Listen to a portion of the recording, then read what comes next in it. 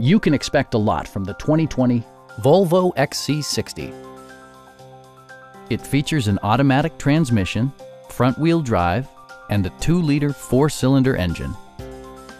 The engine breathes better thanks to a turbocharger, improving both performance and economy.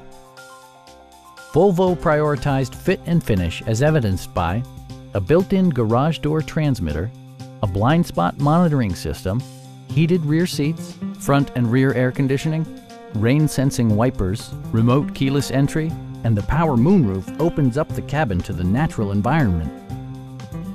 Side curtain airbags deploy in extreme circumstances, shielding you and your passengers from collision forces. Stop by our dealership or give us a call for more information.